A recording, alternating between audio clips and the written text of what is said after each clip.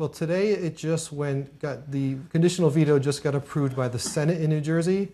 It now has to go to the Assembly in New Jersey. They're not scheduled to meet until November, so unless they have an emergency session to come in and uh, uh, approve these conditionals, we're, we're waiting till at least November before it gets passed.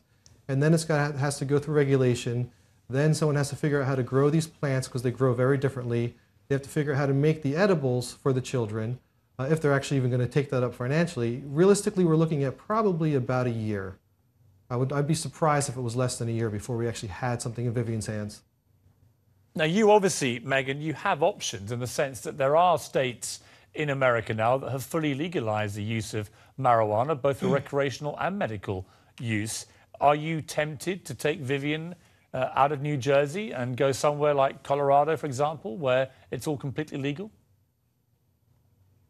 Uh, absolutely. It, it's a decision that we discuss every single day. We actually decided after um, Christie's announcement on Friday that we were going to give ourselves this week to not talk about it, regroup, and then see where we are next week. But if that, you know, a, a year is a year of seizures, and even if we only have to move there temporarily um, to get Vivian on this treatment as soon as possible, that's what we'll do. You know, we're not going to stop at anything um, to help her.